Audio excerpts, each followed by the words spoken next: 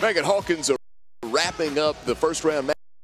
Mercer punished Lipscomb 82 to 48, and after Lipscomb shot 50% in the first half, coach, just 7 of 32 in the second half, Mercer put the squeeze on like a boa constrictor. No, their defense was outstanding. They just keep running people onto the floor, fresh legs out there, putting pressure on you, not giving up any second shots, and going down the other end, knocking down threes. This was a very decisive victory by the Mercer Bears. Well, at least for 20 minutes, Deontay Alexander was able to keep Lipscomb in it, and there's one of the early threes from Alexander. Oh, he can he can step into a three. He can jab step you into a three. He can come off a dribble handoff, as you're going to see right here for the three. He can do a lot of things.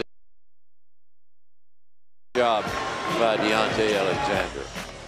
He hit four three-pointers on the night, and here is one of Mercer's 20 assists. They shared the basketball throughout the night. Yeah, Darious Moten is an outstanding leaper, by the way. There you see Langston Hall knocking it down from the outside.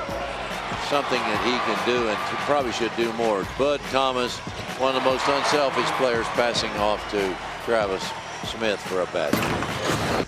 And we'll take a look at the bracket here in the Atlantic Sun tournament at Mercer, where Mercer knocked off Lipscomb tonight. And they'll face the winner of Jacksonville USC Upstate. That is the nightcap tomorrow.